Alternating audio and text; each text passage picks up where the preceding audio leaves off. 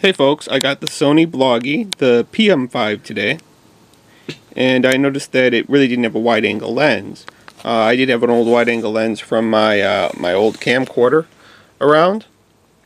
So what I did is I made a uh, way to attach my wide angle lens, so you can see it. There's a couple of Nerf darts in there, some duct tape, uh, an old thing that was pretty much uh, the proper flat surface. Okay. And there's a little cowl here that I built. Um, and there's a couple of other Nerf darts here underneath this. Uh, pull that away so you can see it a little better. There's a couple Nerf darts underneath here as spacers so that the Bloggie lens lines up with the uh, the wide angle lens.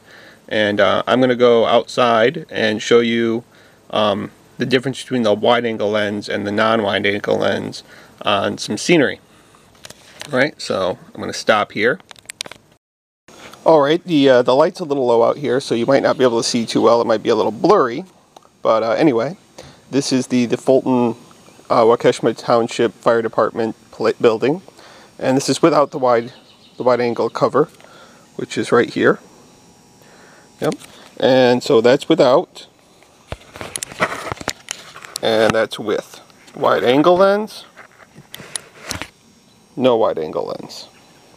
So you got a lot more scenery in, a little wide angle cover lens, and you know all for a bit of duct tape, things like that. Alright, I hope this helps out a few people, and if you have questions, let me know, and I can help you build your own. Uh, catch you later. Bye.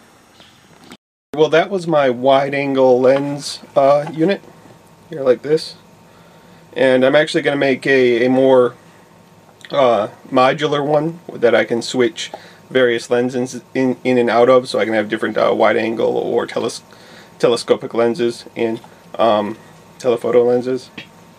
Um, I'll let you guys know while I do that.